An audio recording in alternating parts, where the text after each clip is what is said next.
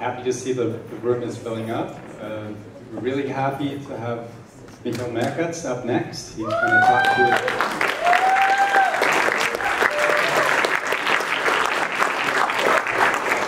He's going to talk to us about his work on uh, the uh, first animated full feature um, animation uh, ever produced in Austria. We're also very honored to have Josef Aichholzer here. He's the producer.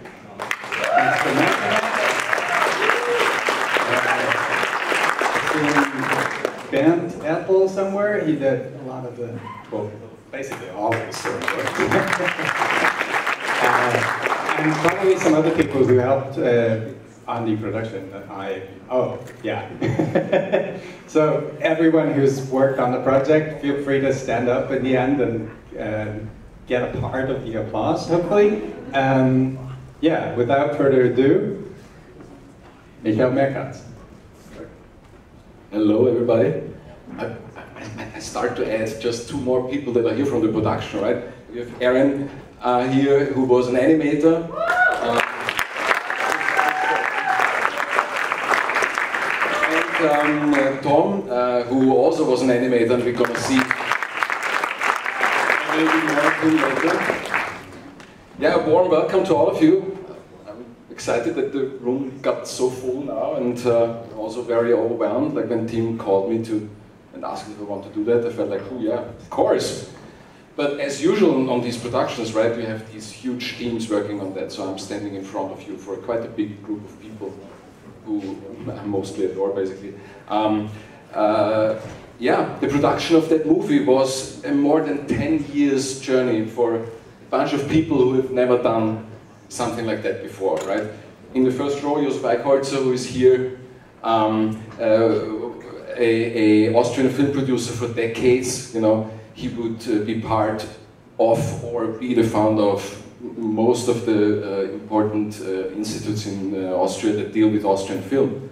he actually got an Oscar, one of his movies got an Oscar, uh, Die Fälscher. So, really. Um, it was clear for me from the beginning that the format of this man was actually the reason that the film could uh, happen uh, in Austria. So I appreciate that a lot, Josef. Um, of course, Manfred Deix, uh, who unfortunately couldn't see the result on the big screen because he died 2016. But um, his wife, Marietta Deix, would jump in and would just support the movie till the premiere um, in 2022. So we also appreciate that a lot. It's impossible um, to honor, uh, honor all the hard work and, and, and passion that flew into that uh, movie. So I'm really happy to be here. I always felt a little bit that the movie didn't get the um, recognition in Austrian CG industry that it kind of deserves, right? So that's a great uh, way to bring into an audience that probably wasn't in the cinema for it. I don't know. My name is Michael Merkatz. I'm a character animator. Um, around 10 years ago, I was sitting down there, was soaking up every detail I could get out of these talks. Um, I hope I, can kind of give that back to you guys a little bit. Um, first, I want to show uh, a small teaser that was created for the Annecy submission, where the, uh, where the movie then actually um, premiered.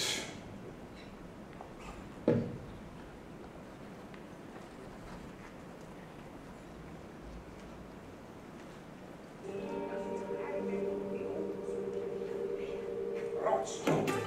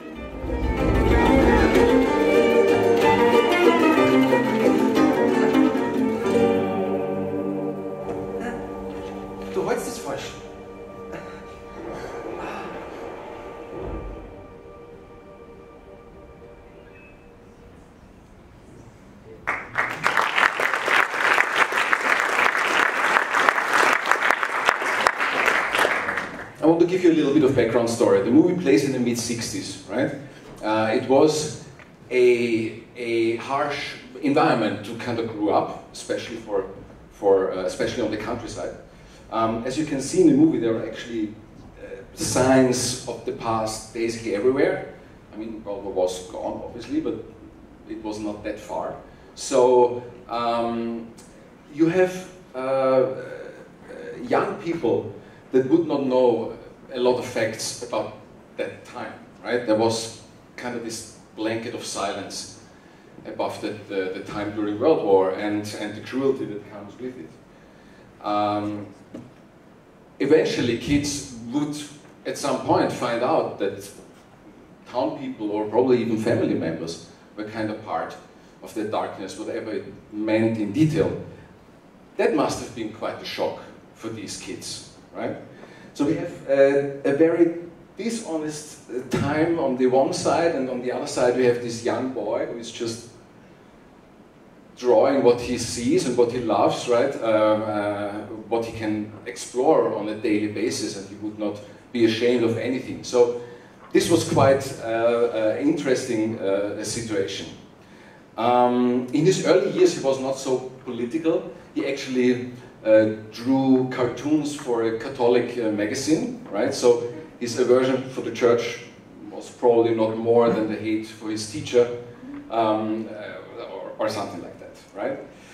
Um, my father grew up in Felixdorf, which is a small, um, which is a small uh, village next to Wiener Neustadt in the south of Vienna.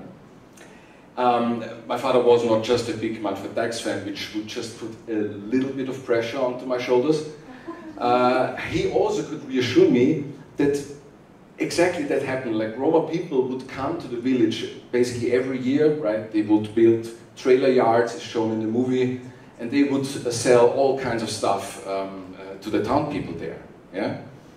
Uh, it was a time of change, a time of freedom with more possibilities. So that was the other side that you could feel, obviously, in the mid 60s as well, a lot. Um, since Roma would travel, uh, travel around and would obviously visit a lot of different areas, would see more different cultures than uh, people in, in, a, in a town village like uh, um, they kind of brought some innovation uh, to these villages actually, right? Like my father told me that uh, these uh, guys were the first one that would drive like these big um, uh, American cars, like the Amish right? Um, and yeah, they brought they brought some innovation to some regards. He remembers them as he remembers them as impressive, friendly people who, yes, sometimes looked a little bit dangerous as well, especially to a 10 to 12 year old, right? Um, this is the setting uh, where our hero grew up and where also this cartoonist grew up that we all like so much, right? Um, Manfred Deix' first years and the script. Um, a key, uh, the, the, script of the movie is key. I mean, everyone is going to say, obviously, yes, uh, so um, it took actually five scripts and two scriptwriters until Manfred would agree and was really happy with what was shown, uh, what was, uh, uh how, the, how the script was written, right? Um, I don't, I can't imagine what it means to, to, to get something that is describing part of your life, right? And then you have to decide, okay, this is what I want that, it, it, that, uh, that what I want to show to the public, right? So um, I totally get it. Mm, I got uh, told that when he read that last script, uh, he would call uh, Josef and would tell him that he was touched by it and that he was really, really happy by it. And then he would uh, send a fax. Manfred was using fax a lot, like it was 2011 and uh, yeah, that's, that's a really, really beautiful story. The thing is, for that reason, the quality of the picture is not like that big because it was actually sent via fax to the office of, of Josef. Um, and it's, it's, it's basically saying, I don't know if you can really read it, but it's basically saying like, he's happy that like a hundred years baby was finally born, right? And in, in, as Deix would do it, like the nurse would say, Tun's schön pressen, Herr Deix. Umso schöner wird es Butzel. Um, a beautiful story. You can see here April 5th, um, 2011. So, yeah, that was basically the moment um, when the script was approved uh, by the art director. There were still a lot of changes done later. We need to be, need to be honest, that's normal in a, in a movie production. But we definitely managed to carry the, the essence of that original script through the whole movie uh, till the end.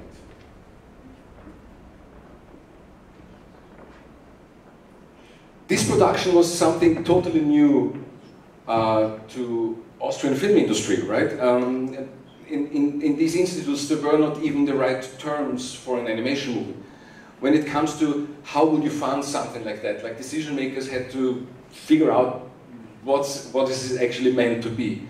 So it was a really, really hard uh, and, and slow process to bring everything on the right track. Again, thanks a lot. to go through that. Um, I want to show you next a few uh, things of, of Manfred Deix' lifetime work, right? I mean, there is so much. Uh, but uh, these are some really important examples. On the left side you see uh, the Houdri Voudri is it's a character he created. Um, it was really famous. You can see that it was used. It was used for Casablanca uh, commercials, so they would put it um, in, in the U-Bahn stations, right, with the ashtrays. Uh, Manfred loved smoking. We need to be clear about that. On the right side, you see the fat cat with cigarette. Uh, he also loved cats a lot. Like rumors are saying that he had like 60 cats at, at a certain time. Um, so yeah, it was obviously clear that he would draw a lot of cats, which are smoking a lot, right? Um, obviously, it was also important to have a like that the, that the cat would play quite an important role into the, in, in the movie. Um, uh, on the next page, on the left side, you see some.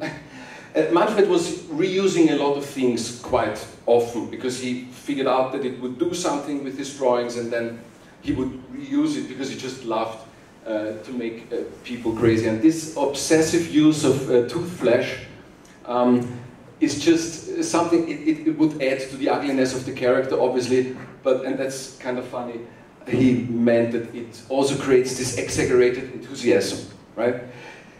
Uh, you can really see it in some models it works better. Here on the right side we have the mayor. Uh, he's gonna have some more roles in that talk, obviously in the movie. So it was used, um, it was basically tra transferred one to one. Here on the right side you see some of the drawings of, uh, of uh. It's, uh, it means wiener, it's a kind of, it's, it's a childish word for a small penis, right? Uh, he once said in an interview that it's ridiculous what trick uh, nature played on men to give them something that looks so ridiculous, right? Um, yeah, he loves just to draw it, and it got a bit, a bit less in his later work, but yeah, another uh, example for that is dirty under, underpants, like Brennspur, right? Uh, he would use that a lot. Again, uh, his character, it, it, makes the characters more disgusting, and he would just love to uh, upset people. That's, that, that, that was one of his drivers, right? And the standing 69, um, yeah, sexual perversions and obsessions uh, were always as well part of his work. Um, I think it's somehow hilarious how Santiago, uh, the director, brought it into the movie at the very end, and the boy gets thrown out of the carousel and uh, gets smashed into his mother. Um, yeah. So, I also show you here now some concepts that were done early on. Um, with all the script versions that were uh, written over the time right?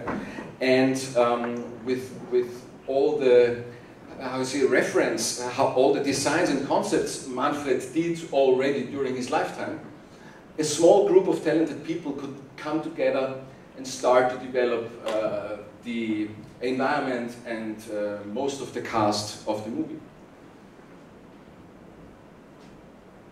yeah, we see here some concepts um, of locations.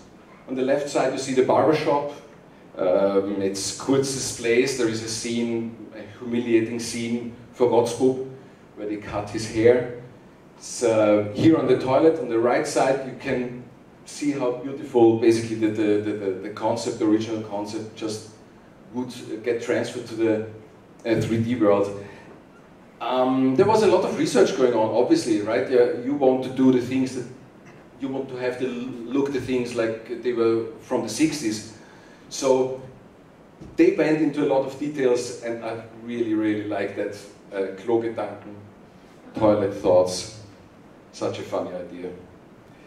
Um, and the last thing is um, um, the classroom as well. You can see how beautiful it it uh, transists from the from the concepts into the final um, model and rendering.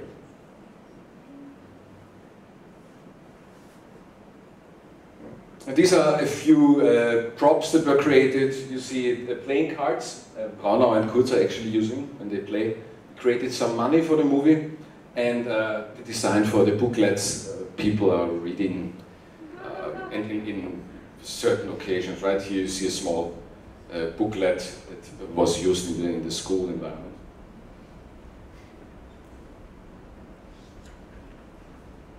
You can see here a very early concept of how uh, uh, could have looked like. Um, these pictures are actually Manfred Deix with some nice expressions. Really funny, he was around the age of Rotzbub. Um, what you can see here, that when I saw that the first time, I felt like, oh wow, that looks like really German. So you can see the, there is this uh, German director, Marcus H., uh, Rosenmüller, right? who, who worked a lot in the pre-production and in the setup of the movie. So this is something that is more inspired uh, by his idea on how Rotzbub could look like. The cast was really big, like assets had to create a lot of characters. On the next two pages I want to show you uh, some of them. We have uh, here Rotzbub with his uh, mother and his father, and of course Rotzbub with uh, Mariolina and her mother. You can see here a glimpse of the red dress uh, that we actually used for the, um, for the dream sequence. Um, yeah, we see a lot more characters, right? Left top row, you see all the classmates that were uh, generated for him. We have the teacher, the priest, and Fridolin, which is another classmate that brings him somehow into real trouble. Um, we have here some good guys like uh, Boldi, which is the I don't know how to say it in English, like the new guy in the village, like a Zurgraster. Yeah? Um, he would bring a lot of uh, yeah, issues there as well. And we have Marek uh, next to him. This guy is uh, one of the most iconic uh, Deix figures, right? Like every Deix fan knows this guy, so we were very happy we could bring him into the movie and that he's a, a really, really nice uh, man. Here on the right side you see Wimmel uh, and Schurli, which are the two friends of him uh, and then uh, lower we see the family uh, Protzler, which is the mayor and his wife, like the first woman of the village basically, right? And uh, Fridolin again. And on the right side we have uh, Umsteher, which is the town police officer. I mean Umsteher, the choice for the name is amazing, right? So, during all that uh, development process around assets and characters, uh, a second group of people came to the project, including myself and uh, Santiago Lopez Jover. Um, he is uh, the animation director of the movie, but it turned out quite fast that his influence had to go way further uh, in order to create the movie um, than just be the animation director. Uh, Santiago Lopez Jover Santi in short for basically everyone. Um, studied fine arts uh, in his uh, hometown Valencia with a focus on animation and especially stop motion techniques. Right? Uh, I learned him. I, I, learned to know him as a supervisor.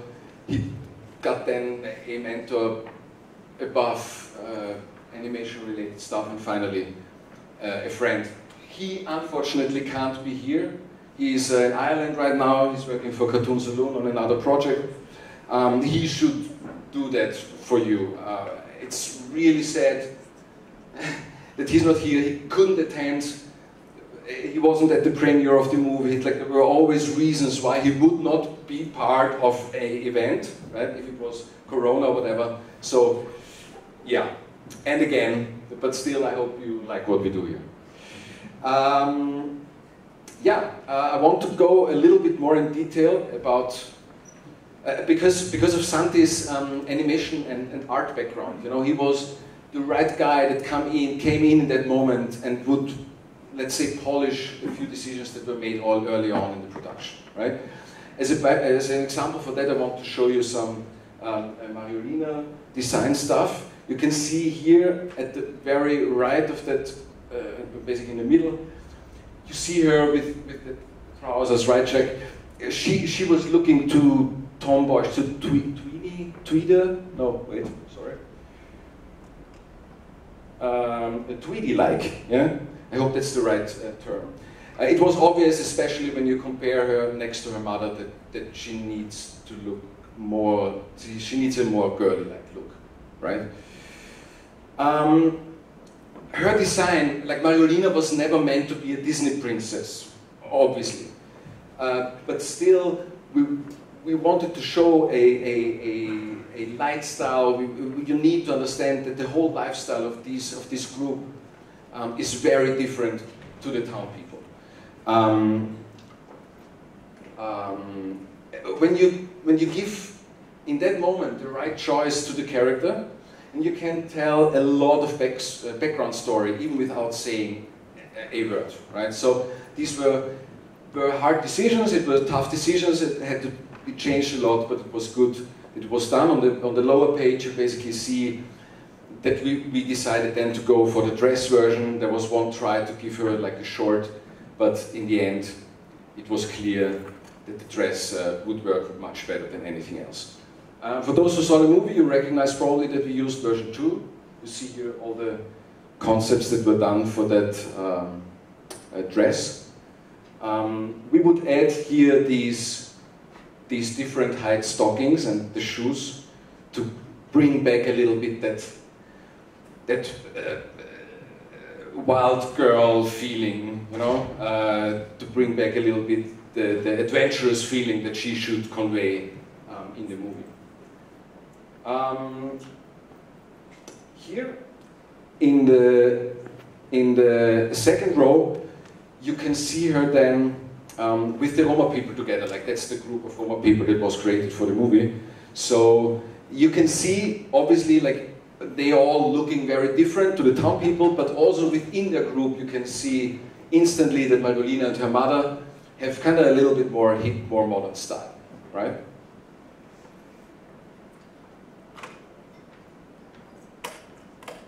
It was really important to show um, Mariolina as a strength a strong girl from the beginning. For those who saw the movie, like her first appearance is like she's standing in front of the chassis and is like throwing that ball against the wall, right? And she's like doing it with some power. And then she would glance over her shoulder at Rotzbub and you can clearly see that she's like, what are you looking, right? It's, she would look unapproachable in the very first moment uh, in the movie.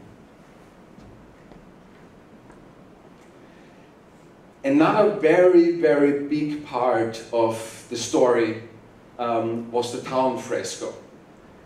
Uh, we had uh, three versions of it, right? We had the old version, you see here on the left side, and we had uh, a version which you, here you see an early concept of that version. We had the version that Neidhart, uh, uh, uh, uncle, would uh, paint over, basically obviously it had uh, to be changed, right?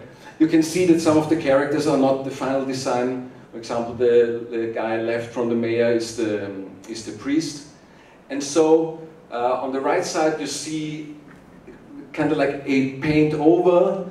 On one hand, uh, we tried of course to not change everything, right?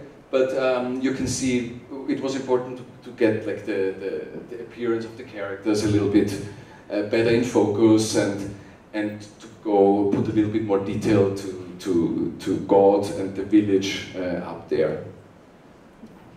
this is uh, all the great work of Bernd Ertl actually, who is uh, he's here. So, uh, the third version uh, we had of that fresco was obviously the version that Rotzbub uh, had to paint over uh, in the night. So you can see as well here um, a early version of it. Um, and on the left side you see the, version from Neidhardt, and then you see in the middle a early version of how that could look like. Um, obviously it was uh, drawn by Manfred, so it was important to somehow bring in his style so you could recognize it. He was obviously not the grown-up cartoonist at that point, but at least you need, we need to make sure that there is somehow a relationship. Um, yeah, and on the very right side you see then a draw over like a briefing concept um, that uh, Santi did as far as I know. Uh, yeah, you see probably the biggest change is um, Neidhardt and uh, Frau Protzler at the left side. But of course, like the God above Siegheilkirchen, you can see how much more uh, satisfying, let's say, uh, this pose of him is. It's much more Dykesy, right? And in the moment in the movie where like the priest is saying like, der liebe Gott würde doch nie auf Siegheilkirchen scheißen. That's exactly that, that picture. If you would, I guess you would do it like that, right? So, yeah, I mean, I guess just about these frescoes you have a, a, a hour talk by itself.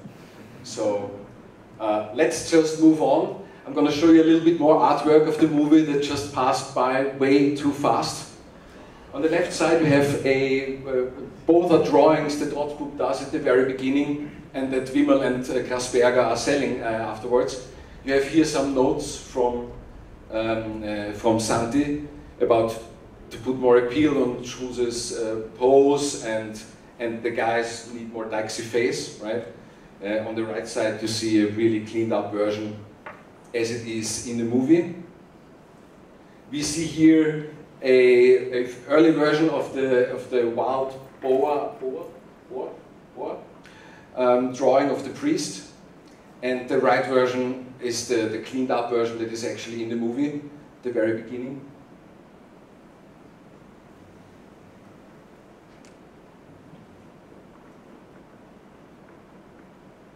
And the last example is uh, yeah, this is the, the first drawing he does from Mariolina during he gets drunk uh, in Jessie, somewhere in the middle of the movie. Uh, it's just a really, really beautiful scene and a really nice drawing of her.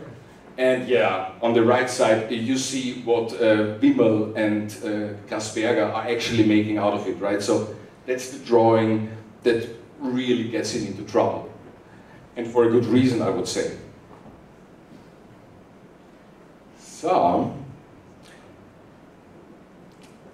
I have now a few pictures about modeling, and it's actually two pictures about modeling and then one picture about real. No, nothing special going on on these models. It's very, very uh, clear and, and, and normal mesh flow. Um, I want probably point uh, to something that was actually creating issues in the production for us. So when you build a model, you can care about these things. When you look here at these, uh, at these shapes at the side of Rotzbub, um, the problem is if you, if you create a model with someone who's not so experienced in 3D, right, and you just do it in, in the A pose, like some of the shapes are probably not that super interesting, and that was the reason why it, this happened. So, right, it's like a dress that comes out of the trouser. So the problem is since if you don't spend a lot of effort and time in rigging and creating like controls and stuff, like no matter what Rotzbub did, you always would see that this is kind of is there.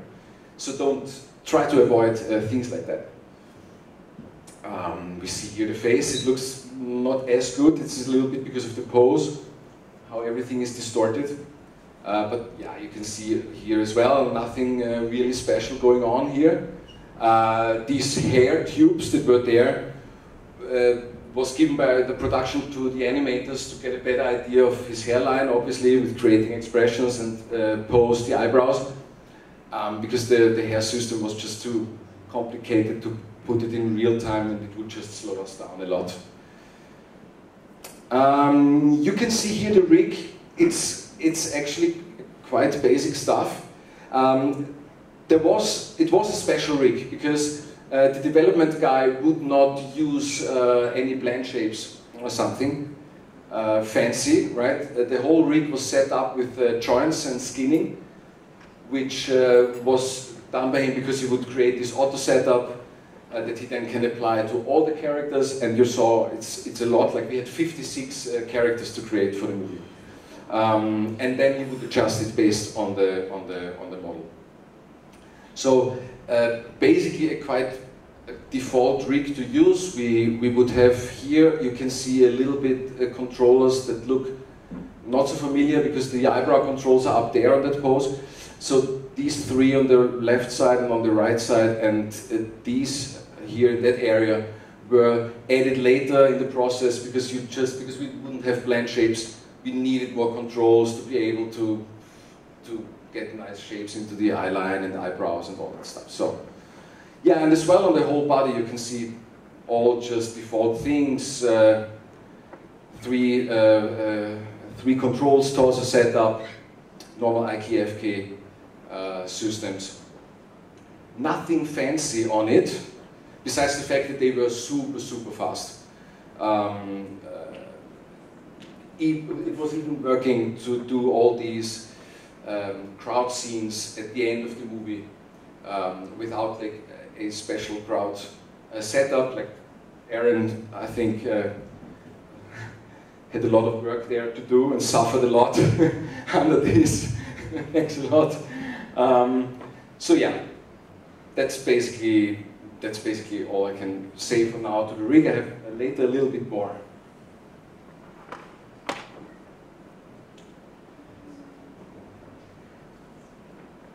Um, I want to tell a little bit about the process from the storyboard to the animatic. Uh, it was always a discussion about how you would transfer Manfred Deix' work, which was always just a picture into an animated movie, right? Um, his big ingenuity was basically that he could always set the statement with just one drawing. So how would you do that? And how would you put that into an animation movie? Um, back then, Santi had uh, to set up a storyboard crew, right? We needed to create a storyboard, and uh, so we couldn't get an animatic out of it. Uh, he had basically days to do so. I have to say for me it was super impressive to understand that a Spanish guy who would know nothing about Manfred Deix was able to jump so fast and so deep into that matter that he would be able to bring so many uh, refer references of, the, of, of Manfred Deix' work into the movie and that he could direct it uh, the way he did you need to plan everything. Uh, what you don't plan uh, in the storyboard stage is most likely not going to be uh, in your movie. Because of Santi's uh, qualities and the quality of the animation storyboard team that we had, we got a animatic that was a really great roadmap and plan on how the movie would look in the end. he could even add like certain um, acting beats to it, and uh, you, you get a really good understanding if a certain uh, situation, if a certain sequence would work or not. Um, the editor of uh, Rotzbub, Philipp Bittner, also got a great friend. He was not working in animation before. Um, he told me once a story that he got super excited uh, when he would uh, work on a run of a character, right? And he would have different panels, and he started to experiment and would just hold that up pose on the run, you know, one frame more to emphasize a little bit dynamic and the weight of the run. So it was for him as an editor kind of funny to play around with these animation related things. Um, on the next example that I want to show to you, you see um, some storyboard examples.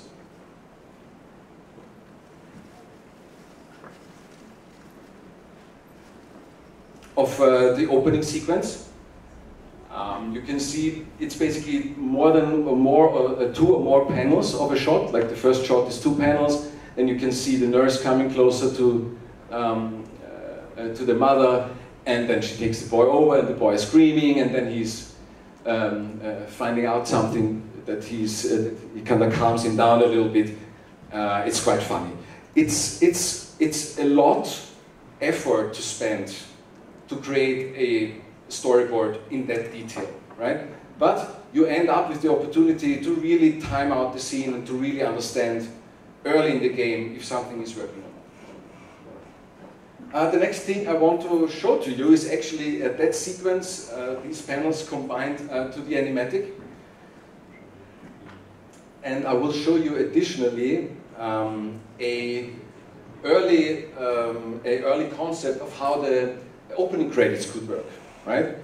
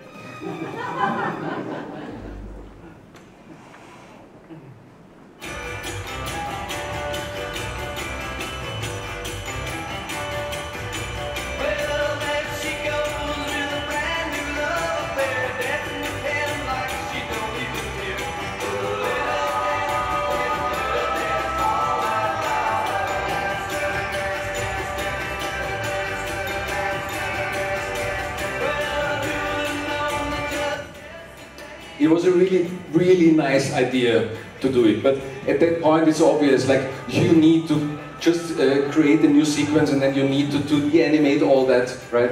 Um, the effort would have been too much.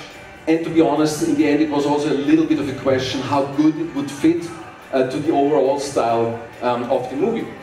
Um, we have a, a, little bit of a problem, right? We start the movie um, with Rotzbub's birth, and then we have a quite big time jump to the moment where he's in school and where he already kind of established his drawing skills.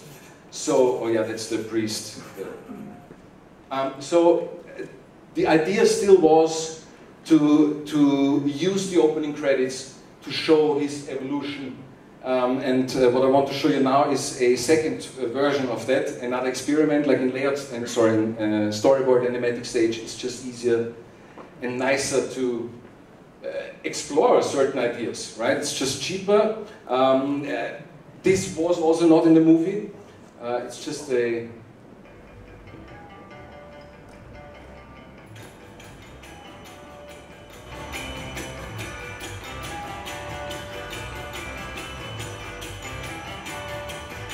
Ah, it's a mummy. I can draw that, right? So that's the overall idea, right? Like you see, uh, you draw what you see, um, and uh, yeah, it would have been a nice. Uh, that's a, of course the father is drinking, right, and he doesn't look very happy, so we draw a father drinking. Yeah, and you see he's kind of growing up, right? You show the names. It would have just been too much of an effort. And to be honest, it worked just great to put the opening uh, sequence, uh, to put the opening credits into the uh, uterus sequence, which is kind of a little bit of a weird thing to say, but anyway, um, that's what happened, right? So yeah, we would also think about establishing certain of his uh, kind of character, like he's, he's, he's he's doing that a lot uh, during the movie, right? So the idea was to use that opening to establish that as well. And then uh, the, the like the thumb thing. So yeah.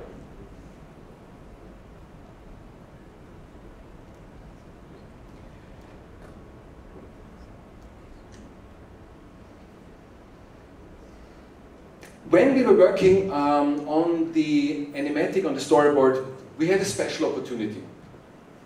Because, as I told earlier, because of the fact that uh, this uh, group of people, these designers, were already working on the cast and on the environment, we had uh, already 3D models, even with rigs available. So we could uh, combine the traditional 2D approach, drawing boards, put it together to an animatic, um, right into a 3D pre-realization um, uh, work. We could just combine that, right?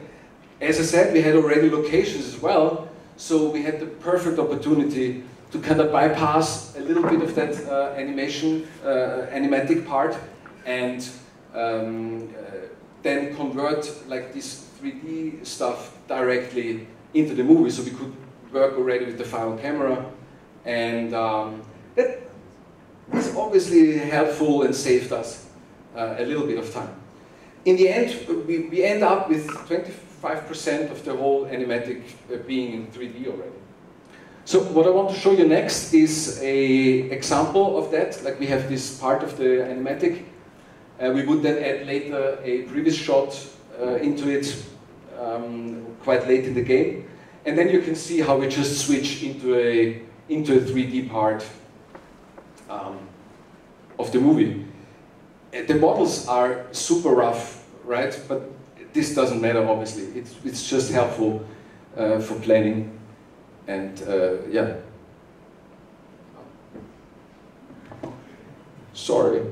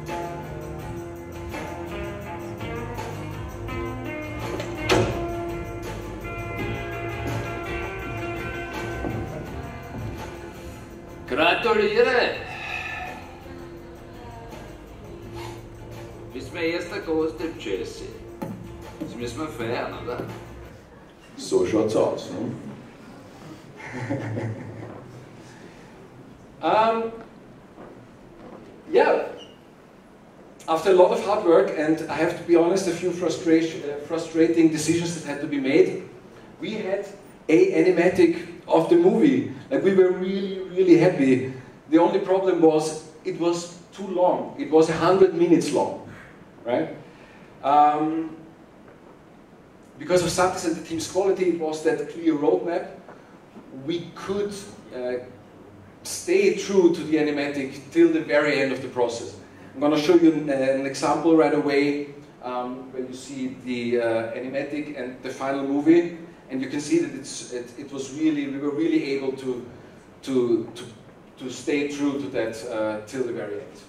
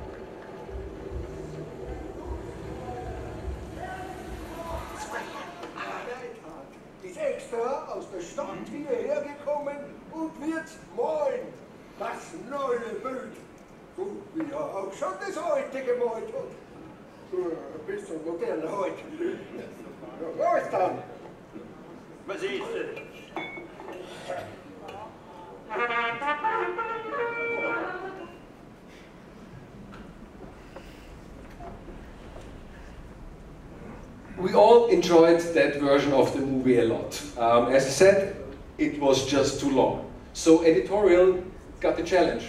Um, Philipp Bittner needed to cut down the movie to 86 minutes. So he had to lose like 14 minutes of the movie.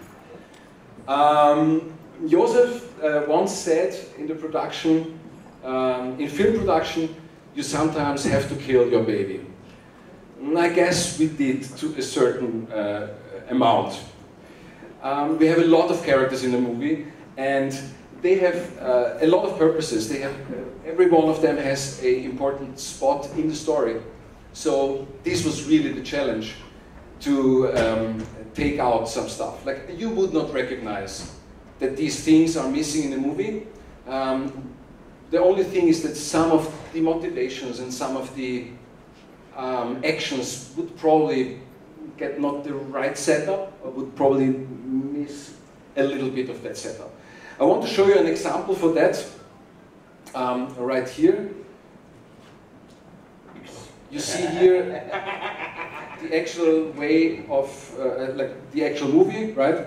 Rotzbub is leaving the main room, goes into the kitchen. Im letzten Mal warst so. Du willst noch zeichnen? Mhm. Habt Hausaufgaben? Drei Seiten. Dann mach's lieber gleich. Komm, jetzt sagt er dein Zimmer.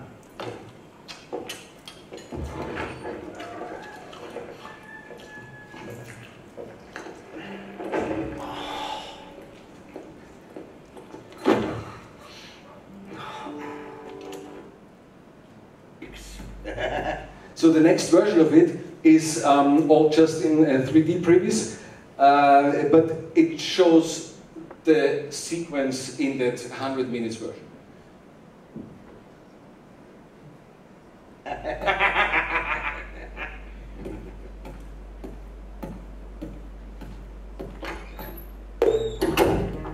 Grüß Gott. Rotzbub. Groß bist du worden.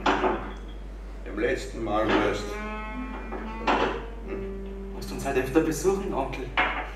Das passt schon so.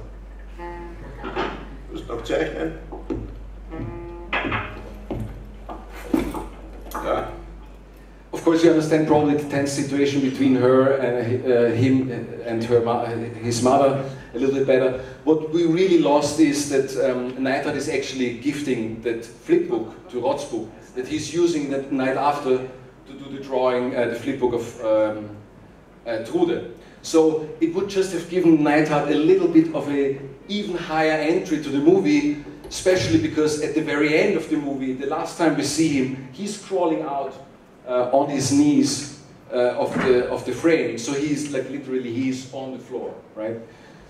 And the second thing is a scene that was taken fully out. Um, it was meant to show that uh, Rotzbub has more time to actually draw the, the mural because Trude uh, Neidhardt would be engaged with Trude. So this is the scene where he actually goes to her window. and- Eigentlich, ohne die hätte ich gar nichts. Weil ich dir gezeichnet habe. Reicht es?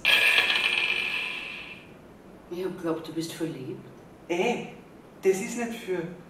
Also schon. Aber nicht mit mir. Ich will nur, dass du wen ablenkst. Mit deiner Schönheit. Für ein paar Stunden. Jetzt? Ja. Geht das? Bitte. Dann muss ich mich aber zurecht machen und umziehen. Darfst zuschauen.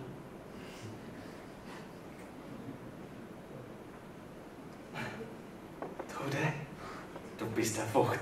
Ich weiß.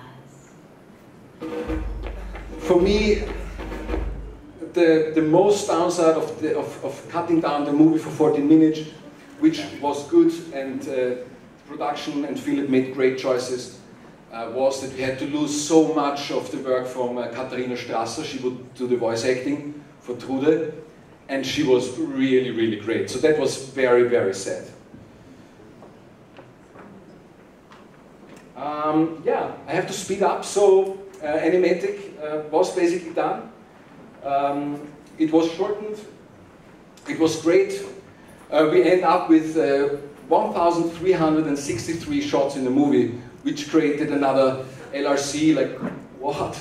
Uh, it would make an average shot length of uh, 3.4 seconds, which is quite a lot for such a short movie. It's more like an action movie. Um, but they managed uh, to do it, obviously. Uh, I remember that layout screening. Um, uh, Tom actually uh, had this awesome rooftop place where he's living. We would meet there all together. We would put up a big screen and beamer. We had drinks and snacks, and we would watch the movie all together. It was a Midsummer Night 2018. Just really beautiful. Four years ago. Crazy. Okay, how do you animate Deix? Uh, next chapter, I need to uh, move faster.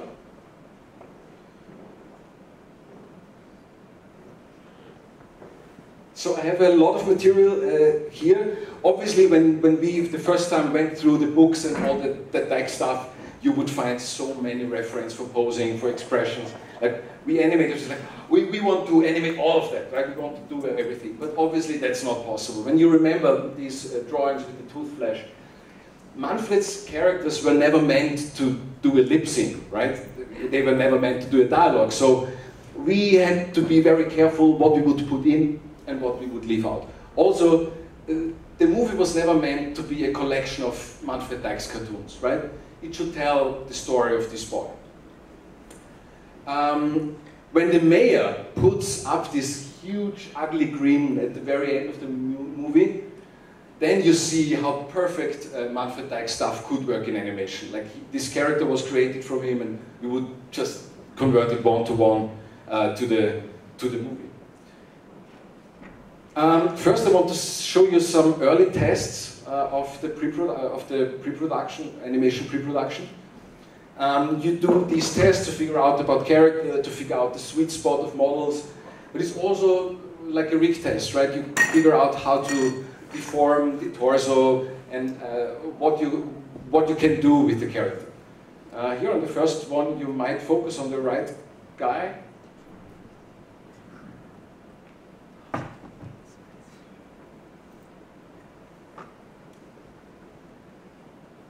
you can clearly uh, feel the power play between them. There is no sound, right? This is not, there, there is no sound there is nothing. What you see here is just basically an animator and a character model, right? You can feel the power play between the, between the two. The second one is uh, about Rotzbub's mother. I feel there is also nothing to add.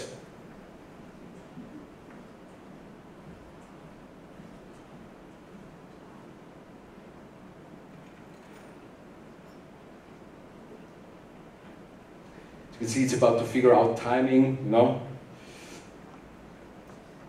The next one is about Umsteher.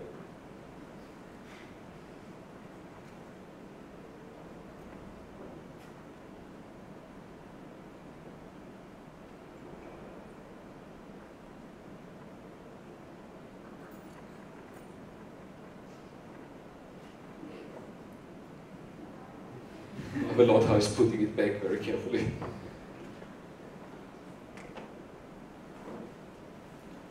And here, finally, we have Poldi, who is right in his mood.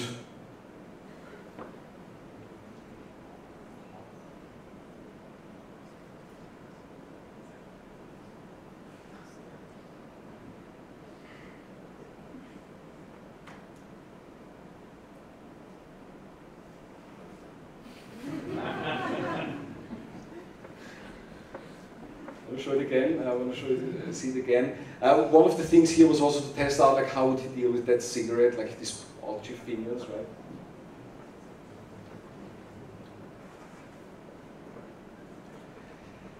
There is a problem with all the Deix figure, right? Like Deix characters are usually quite fat. Um, you need some special controls to manipulate these bulky uh, shapes and arms and bellies and throats or you have, if you're in part of a fancy production, you probably have like some muscle system, some skin system, probably you can abuse like cloth simulation or something. I have to admit, we didn't have all of that, right? We would uh, just have to use controls in a smart way. I want to talk about a, small example. Uh, if you want to make a character breathing, then you can, if you have this three, con uh, three control setup, you can basically rotate the middle one forward, the up one a little bit backward, and what you then get is like this in the character, right? When you then add like some shoulder movement and some head movement, you basically get uh, the feeling for breathing without uh, creating any automated system or any underlying system. You don't want to do that in order to create a fast rig. So whenever you can bypass these things, um, don't, don't do it. Nothing slows down animation more. nothing slows down animation more than a, a, a slow rig. And in 2D animation, you obviously don't have all these problems. As you can see on the next example, um, that actually Santi uh, did for the movie, it's the, the animation he did for the flipbook. I have two versions, uh, like a rough line test.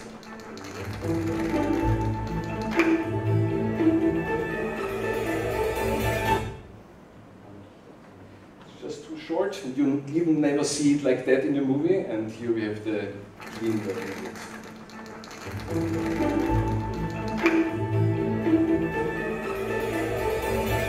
Isn't it lovely? I have to say.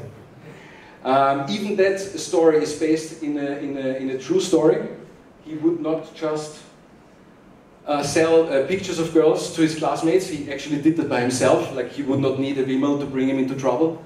Um, he drew as well a flipbook back then. And in that flipbook, the girl would keep the panty on, as we see here. And in an interview, he told the story that this was mainly because he would just not know what was under it at that time.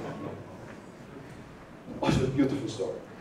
Um, I end up with showing you a few cycles. No, we are so late, I'm leaving that out. I'm going to show you now um, uh, four videos about uh, shot progressions that are in the actual movie. Um, three of them are done by my beautiful colleague who is here, Tom. And then I'll show one of myself as well to not expose just someone else. Wer ist Schäsam? Weltklasse. Du bist schön. Selbst zurück hingreifen.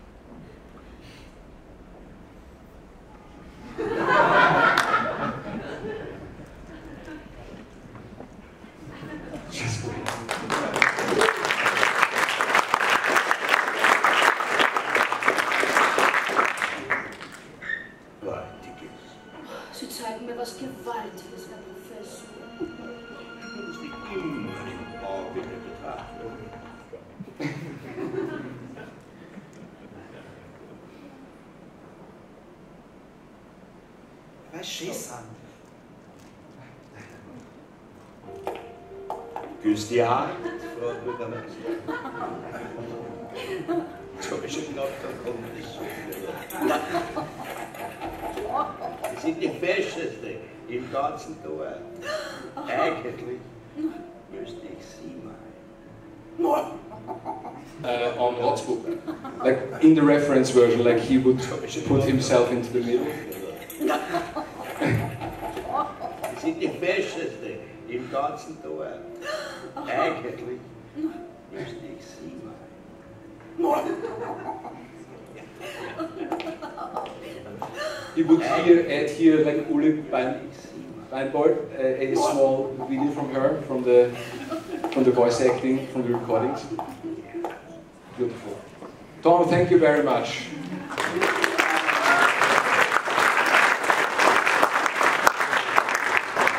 Again, as I said, do not just expose someone else. Was tust du da? Afghanische Cheek.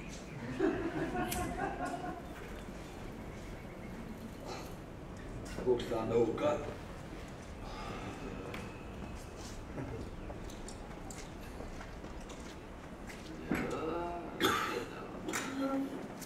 Adieu Marie in deinem Tät.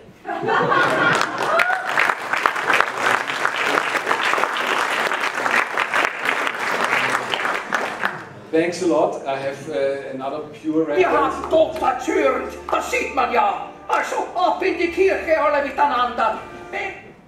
Oh, no, it's not. It's working as a loop actually. wir haben Dr. Türent, das sieht man ja. Also ab in die Kirche alle miteinander. Wir haben Dr. Türent, das sieht man ja. Also ab in die Kirche alle miteinander. Three minutes. Three more minutes. Three more minutes. Uh, I have to cover LRC a little bit. Ah, it's so. Like we as an animator, we as animators, right? We just see most of the time the um, uh, viewport blast of Maya or, or which system ever we use. So for me, LRC does like this super exciting work of bringing all that glory in way after we finish our work, right? It takes sometimes months before we can see it. Unfortunately, uh, no one of the LRC team can be, be with us here. Uh, all the LRC, all the modeling, all that stuff was done by a small, really small group of super talented and great people uh, in Salzburg. So that's also why they are not here.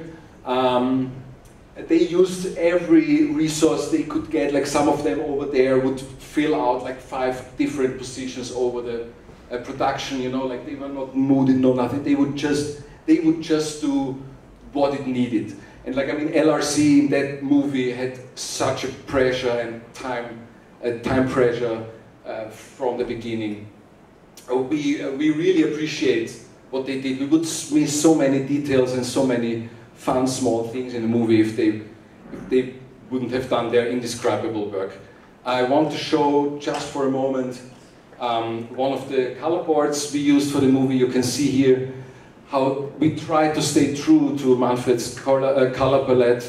Like uh, here you see a night, uh, a night drawing, and we did, did that here. Also the this daylight sky. What is really interesting to see um, what they created with the they, they went into this kind of aquarelle style that Manfred used a lot. They wanted to make it look like the backgrounds are kind of drawn by Manfred. So when you look here at these trees, and when you then combine that um, with the work here, here, it's, it's, giving it quite an interesting look. Uh, and it works better the more the stuff uh, goes into the background. You can see here how these trees look not like normal 3D trees, right? Um, as well with the faces, uh, we try to create something that is looking as close as possible to Manfred Deix' work. And the more we go into the background, the more you can see how these faces move more into, into somehow a certain aquarelle color look, right? As well, I need to point, and that's the last thing I do, um, on all the details in the background. You can see here the picture of the mayor. I mean, it makes sense that the picture of the mayor is in every location in that uh, village, right? But it's a drawing of Manfred and they brought in so much of it. Really beautiful. Um, yeah, the last thing is a not so much a color board, it was more a mood board. It was meant to show the evolution of time and locations um, in the movie. Back then there was a discussion about reorganizing sequences and probably delete another one. But uh, with this, it was important to understand um, how the color and the mood uh, would evolve over time and that it's dangerous to do more change uh, to the whole thing. Guys, uh, the very end, uh, there is the, the Caricature Museum in Krems. I don't know if you, if you know it, there is an exhibition of Manfred Deix' work. Always, if you're interested, go there. For me, the most impressive thing was actually to see how much detail this man would put into slightly small paintings. It's quite crazy because in all his booklets, the stuff is sometimes like really big, like it's an H4 page, right? And then you see the original, the original is like a quarter of it. But it's still working because you put so much detail into it, it's hilarious to look at. So if you're interested in Deix, you should go there, take your parents or your grandparents, and make a trip with them. Guys, sorry, it's late. Uh, this is it. Um, appreciate your attention.